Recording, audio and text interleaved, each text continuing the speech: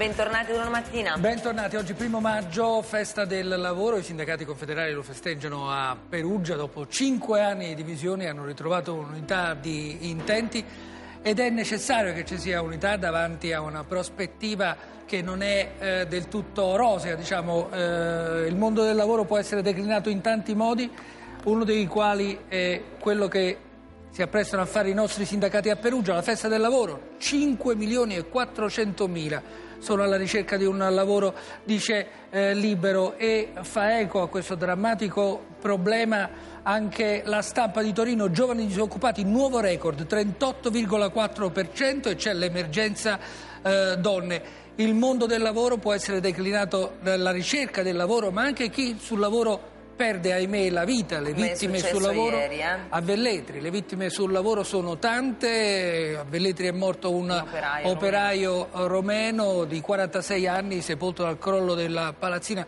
nella quale stava lavorando, a nero peraltro il titolare dell'azienda è stato arrestato. Quindi Ma non ci sono solo le morti, le morti sul lavoro, esatto, ci sono anche i feriti sul lavoro. E chi sul lavoro si ammala, dunque la sicurezza sul lavoro. Dunque la sicurezza sul lavoro è importante, è fatta di tante cose costose, di controlli sanitari e di ricerca e di regole da conoscere, soprattutto da rispettare. Noi oggi ne vogliamo parlare con i nostri due ospiti, Giuseppe Lucibello, direttore generale dell'INAIL e Andrea Magrini, l'abbiamo già conosciuto, Buongiorno. segretario della Società Italiana di Medicina del Lavoro e di Igiene Industriale. Grazie per essere qui. Allora, dottor Lucibello, eh, lei dispone di un osservatorio speciale dal quale insomma, tiene sotto controllo l'intero Paese e può confermare i dati che abbiamo appena detto. Quello sulle malattie del lavoro è soltanto uno degli aspetti del problema, ma è un problema enorme. Sì. Infortuni e malattie sono certamente in accentuato calo. I dati del 2012, ricordati proprio in occasione della ricorrenza odierna dal Presidente Napolitano, eh, dimostrano che si è passati da mm, 600 726.000 denunce di infortunio del 2011 a 656.000 del 2012. I casi mortali si ridurranno, la nostra è una stima preliminare ma abbastanza solida, a circa eh, 850-860 casi rispetto agli 893 casi mortali registrati nel 2011. Le malattie professionali finalmente, dopo anni di eh, emersione voluta, nel senso che con una forte attività di eh, trasparenza siamo riusciti a far emergere con la, la, mh, eh, chiaramente con il conforto di tutti gli altri attori del campo, eh, le malattie scomparse, abbiamo tabellato malattie facilitando ovviamente l'onere della prova, nel senso che abbiamo stabilito il principio della presunzione legale d'origine. Oggi le malattie professionali eh, denunciate sono circa 47.000, non distanti da quelle del 2011.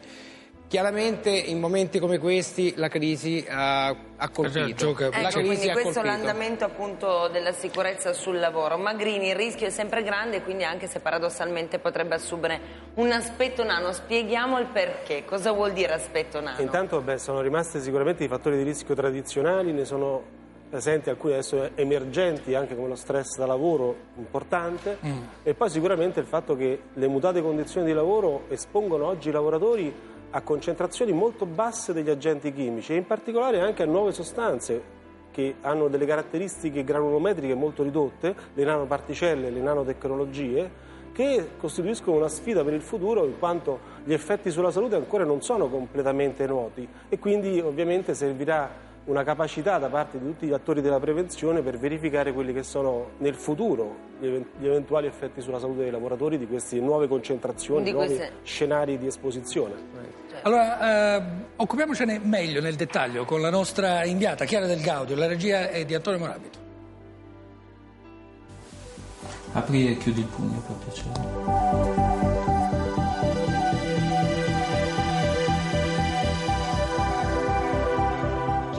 Spesso accumula veleni e non mi riferisco di certo ai semplici dispiaceri, ma alle tante diverse sostanze in grado di rovinarci la salute. Di compromettere l'integrità del nostro organismo e il suo buon funzionamento. Per questo noi oggi siamo qui proprio per affrontare questo rischio come si deve. Ci aiuta Pietro Apostoli, presidente della Società Italiana di Medicina del Lavoro e Igiene Industriale. Professore, intanto che cos'è questo posto in cui ci troviamo? Ci troviamo nei laboratori dell'unità operativa di medicina del lavoro, igiene e tossicologia occupazionale dell'azienda Spedali Civili Università di Brescia, dove appunto cerchiamo di dosare le sostanze tossiche presenti negli ambienti di lavoro. Manteniamo la nostra promessa iniziale e descriviamo la prima analisi. Si tratta della misura dei metalli nel sangue che viene o prelevato eh, nei nostri ambulatori o arriva direttamente dall'esterno.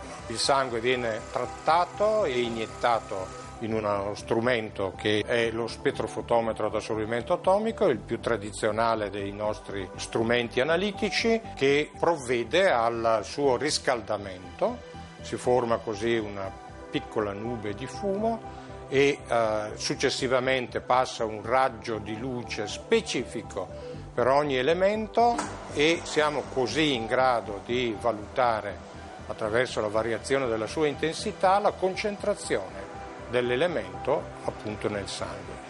Questo è un esame molto specifico e sensibile. Quali sostanze nocive intercettate più spesso? Sono i metalli, vista anche la zona dove noi operiamo, e quindi il cromo, nickel, piombo, arsenico, cadmio, eccetera, ma anche sostanze organiche, sono diverse decine di migliaia quelle presenti negli ambienti di lavoro e noi siamo in grado di misurarne alcune centinaia. E per sapere se siamo inquinati dentro, certe volte basta un soffio, vero professore? È vero, questa è la tecnica del condensato dell'aria espirata che è stata messa a punto negli ultimi anni in un programma multicentrico internazionale a cui noi abbiamo partecipato. Un lavoratore eh, respira normalmente in una apparecchiatura per 15-20 minuti, l'aria viene bruscamente raffreddata in modo da poter consentire la raccolta dell'acqua presente nell'aria e quindi poi di procedere all'analisi sia dei composti tossici che dei prodotti della loro reazione. Come evolveranno in futuro queste tecnologie? Verso una sempre maggiore capacità di misurare le sostanze tossiche, ma soprattutto di studiarne i meccanismi di azione sull'organismo in modo da essere sempre più in grado di fare prevenzione e quindi tutelare la salute dei lavoratori. Grazie professore, ci fermiamo qui a voi studio. Grazie Chiara. Eh, direttore Lucibello, anche l'INAIL combina ricerca e prevenzione insieme. In che modo lo vogliamo sapere? L'ente si è evoluto negli ultimi anni in modo significativo. Eh, da ente assicuratore, mm, noto come ente assicuratore, adesso mh, mm, si è configurato come polo salute e sicurezza quindi assicura in qualità di garante e promotore della tutela globale integrata del lavoratore. Si parte dalla ricerca orientata alla prevenzione, quindi la ricerca orienta alla prevenzione, ma anche le attività tradizionali di INAIL, quindi le attività del, di tutti i giorni, il lavoro dei nostri medici orientano gli studi su rischi tradizionali e su rischi emergenti, come il dottor Magrini ha, ricordato. E eh, la ricerca è certamente, certamente il nuovo tassello di questo ente, una ricerca che eh, potrà sviluppare tutte le problematiche e tutte le tematiche che miglioreranno e implementeranno i livelli di sicurezza Senta, sotto l'egida dell'innovazione tecnologica. Direttore, quello della ricerca è uno dei tasti dolenti del nostro Paese. In genere alla ricerca mancano sempre fondi.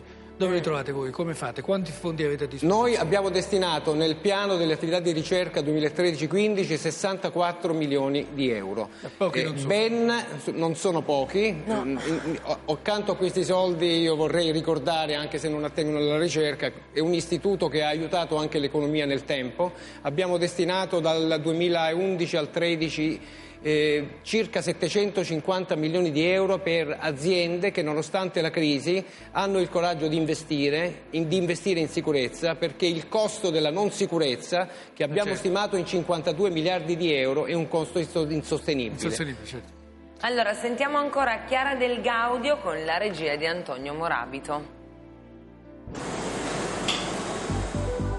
Ci ritroviamo con Pietro Apostoli per raccontarvi una storia che può servire da esempio. Vero professore? È il caso di un eh, lavoratore immigrato che è giunto alla nostra osservazione per una patologia broncopolmonare di sospetta natura tubercolare, insieme a tutti gli altri accertamenti sono stati effettuati anche quelli di tipo tossicologico con il dosaggio del berillio nel condensato dell'aria ispirata e abbiamo quindi potuto concludere per una patologia professionale evitando così ulteriori accertamenti o terapie assolutamente eh, non adeguate. Come sta adesso questo lavoratore? Avendo sospeso l'esposizione la malattia non è progredita, il lavoratore sta meglio e questo è l'esempio di come gli interventi preventivi siano a volte risolutivi per la salute dei lavoratori. Bene, grazie professore. Noi ci lasciamo con le parole pronunciate da Benedetto XVI quando era ancora Papa. La vita dell'uomo non è un bene disponibile, ma un prezioso scrigno da custodire e curare con ogni attenzione possibile. La vita è un mistero che di per sé stesso richiede responsabilità, amore, pazienza, carità da parte di tutti e di ciascuno. Da Brescia è tutto, a voi studio. Grazie Chiara. Magrini, i soldi utilizzati in sicurezza sono un investimento, non sono soldi spesi così. Spieghiamo il perché e come facciamo a convincere le imprese di questo. molte imprese già lo sanno, perché eh, hanno dentro i datori di lavoro la certezza che lavorare in sicurezza è un vantaggio per l'azienda stessa e per i propri dipendenti. Eh, noi, attori della sicurezza, abbiamo il, la necessità, il compito di cercare di convincere il datore di lavoro attraverso il fatto che un'azienda sicura ha meno infortuni, ha meno assenze per malattie, produce meglio, i dipendenti sono sicuramente anche più motivati. Queste sono sicuramente voci che il datore di lavoro ascolta. Se percepisce invece soltanto come un costo la sicurezza, questo sarà un problema. L'INAIL in questo è venuto anche incontro attraverso la, la detrazione fiscale per i sistemi di gestione sulla sicurezza. Alcune Quindi aziende, un incentivo in un più? Incentivo in più. Eh? Alcune aziende hanno ascoltato e speriamo che questo sia un meccanismo che possa essere in qualche modo seguito da tutte le aziende. Direttore, eh, quest'ultimo morto eh, cittadino romeno parla anche a noi perché lavorava eh, senza che le condizioni di sicurezza venissero osservate, tanto è vero che il reato ormai è penale ed è stato arrestato il datore di lavoro. Parliamo del romeno morto a Velletri nel crollo del solaio al quale stava lavorando. Eh, cosa fa l'INAIL in termini di eh, prevenzione? Voi avete i versamenti da parte delle aziende, ma molto spesso le aziende non rispettano eh, i criteri di eh, sicurezza. Quanti ispettori avete? Come fate a controllare un territorio così vasto? Purtroppo il sistema della vigilanza ispettiva è molto frastagliato. INAIL dispone di poco più di 300 ispettori. Non sono sufficienti. Non sono eh sufficienti no. anche perché la mission di questi ispettori è molto circoscritta, molto ah. ristretta. Noi ah, possiamo limitarci alla, mh, all'esame eh, del, della compliance praticamente al, agli obblighi assicurativi. Quindi Chiaramente i nostri ispettori accesso. possono denunciare in questo, in questo, le attività vi, vi muovete in parallelo con per esempio ci mettiamo con in parallelo con attività di business del lavoro? Esattamente cioè... business intelligence quindi analisi delle banche dati nostre integrazione delle banche dati INIL con l'agenzia delle entrate con l'arma dei carabinieri con, con gli ispettori del lavoro e con la guardia di finanza quindi ovviamente. incrociati. Il problema della vigilanza è un problema di eh, unire l'elemento repressivo con l'elemento di consulenza alle imprese, perché oggi in questo momento le imprese non vanno lasciate sole. Certo. L'operaio che eh, è morto ieri è un operaio che verrà assistito dall'INAIL perché per fortuna, nonostante fosse in nero, vige nel sistema delle prestazioni assicurative il, eh, il principio dell'automaticità delle prestazioni una volta che eh, l'infortunio viene denunciato, in questo caso purtroppo con esito mortale, INAIL farà tutto quello che la normativa vigente consente siano, siano per assistere il familiare e per risarcire una, per quanto possibile. Questa è una notizia questo. che non, non, come dire, non cambia lo stato delle non cose, cambia assolutamente ma, però, ma almeno consola aiuta. Allora, quello della medicina del lavoro è una specializzazione richiesta delle nuove leve Magrini? Sì, diciamo che nei giovani la sensibilità nei confronti dei temi che riguardano la salute e la sicurezza del lavoro, ma anche l'ambiente, quindi la tutela dell'ambiente, è molto forte, quindi i giovani anche che percorrono il, la- il percorso della formazione in medicina, quindi il corso di laurea in medicina, chiedono molto spesso di poter frequentare la specializzazione in medicina del lavoro e c'è anche la possibilità di formare quelli che sono invece i tecnici della prevenzione attraverso i corsi di laurea in tecnica delle prevenzioni.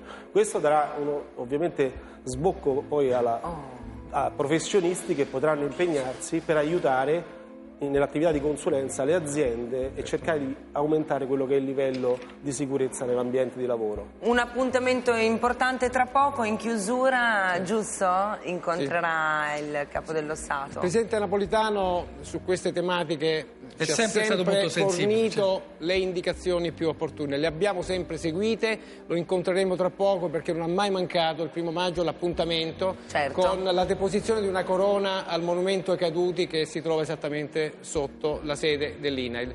Tra poco lo incontreremo e ascolteremo le sue indicazioni e le seguiremo fedelmente. Sempre preziosissime, grazie. Grazie a Giuseppe Lucibello e ad Andrea Magrini per essere stato con noi. Adesso